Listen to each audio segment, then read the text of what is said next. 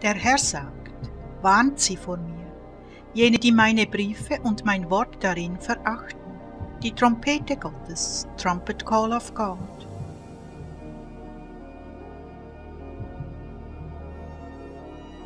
Dritter November 2009 von dem Herrn, unserem Gott und Erlöser. Das Wort des Herrn gesprochen zu Timothy, für all jene, die der Herr sendet und für all jene, die Ohren haben und hören, betreffend den Kirchen der Menschen. Das sagt der Herr zu seinen Dienern, zu jenen, die in die Schlacht gesendet werden. Meine Hirten, die ich eingesetzt habe und errichten werde, jene, die die Wilden meiner Herde hüten und meinen Weg vor mir bereiten sollen.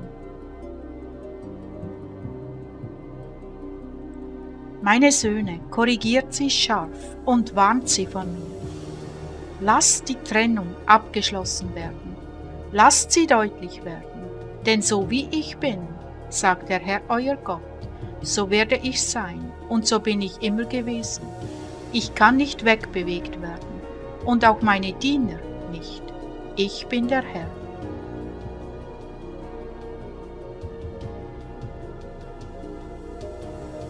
Deshalb warnt sie vor mir, sagt der Herr. Denn alle, die meine Briefe hassen und meine Worte, die in diesen Bänden geschrieben wurden, verachten und auch meine Korrektur ablehnen, sie alle kämpfen nicht gegen Menschen, sondern gegen den Herrn, ihren Gott. Ja, bis zum Beschmutzen meines Namens, während sie in ihrem arroganten Einvernehmen zusammenstehen.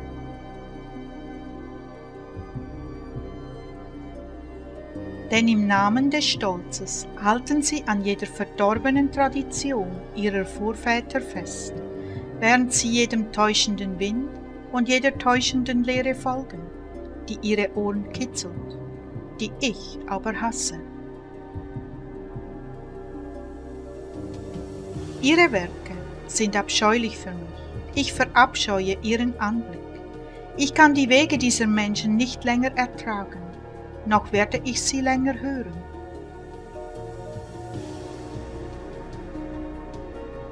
Noch einmal sage ich, warnt sie vor mir, ob sie es hören wollen oder ob sie es unterlassen. Macht mein Wort bekannt. Schlagt rasch zu mit dem Schwert, das ich euch gegeben habe.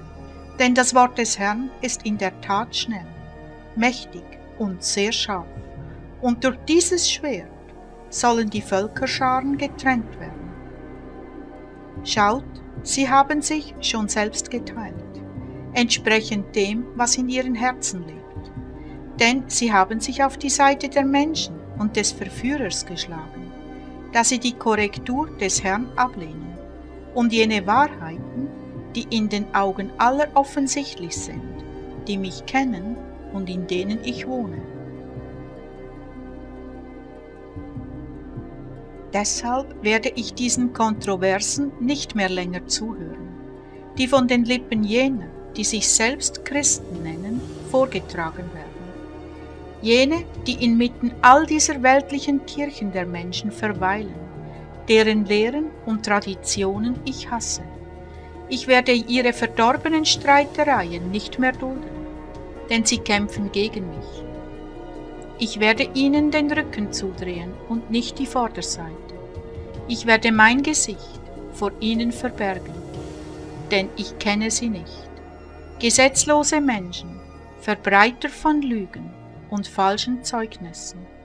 Und sie hören nicht auf, meinen Namen und meine Herrlichkeit zu beschmutzen.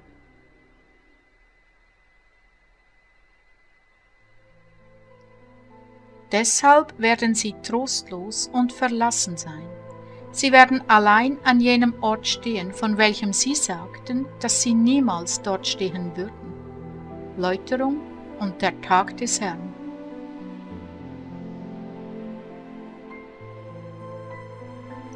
Ein Tag der Erniedrigung und großer Demütigung.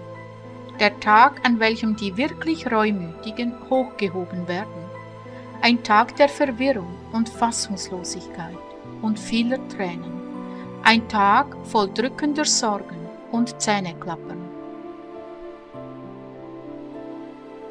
denn ich muss Korrektur anbringen und das Urteil übermitteln. Oder wie soll ich sie sammeln? Deshalb wird Gebrochenheit ihr Begleiter sein am Tag des Zornes Gottes. Denn mein Zorn wird nicht von ihnen abgewendet werden, bis sie sagen, Gesegnet sind die Füße jener, die der Herr sendet, denn sie haben eine Botschaft von Gott empfangen. Wir werden ihre Reden beherzigen und jede ihrer Verkündungen aufmerksam beachten. Herr, wir tun Buße in Staub und Asche.